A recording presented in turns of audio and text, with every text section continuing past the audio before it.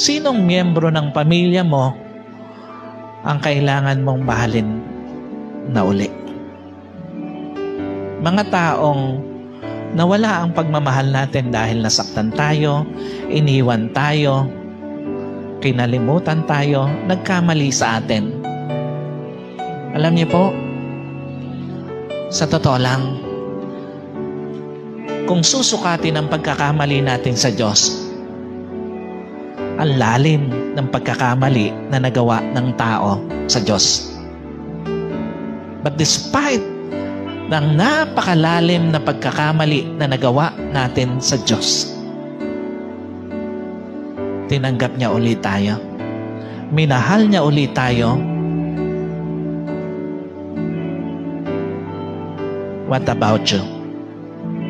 Doon sa mga nagkamali sa iyo, doon sa mga nanakit sa iyo, doon sa mga nang iwan sa iyo, handa ka ba na tanggapin uli sila, mahalin uli, at papasukin sa buhay mo?